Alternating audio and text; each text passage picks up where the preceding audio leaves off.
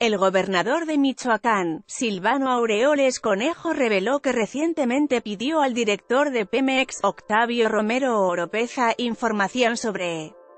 el desabasto de gasolina que aqueja a algunos municipios michoacanos desde hace más de 20 días y de lo que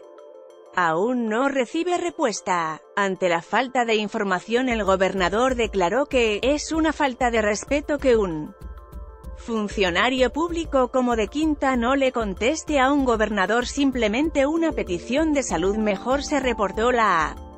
secretaria de Energía, pero entiendo que no tiene mucho margen de hacer al tomar una decisión pero este personaje es y no me quiere contestar por lo menos por escrito, AML o hizo fila para cargar gasolina. No es un tema mío es un tema de la sociedad, se está afectando la actividad económica, se está afectando la actividad productiva, la vida diaria de las familias. Yo espero que ya se restablezca esto pronto más allá de que este personaje me conteste o...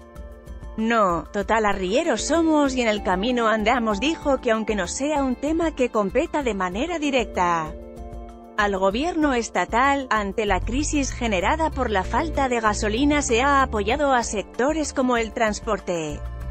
público para tener un acceso garantizado al combustible, por lo que la mañana de este domingo se brindó apoyo para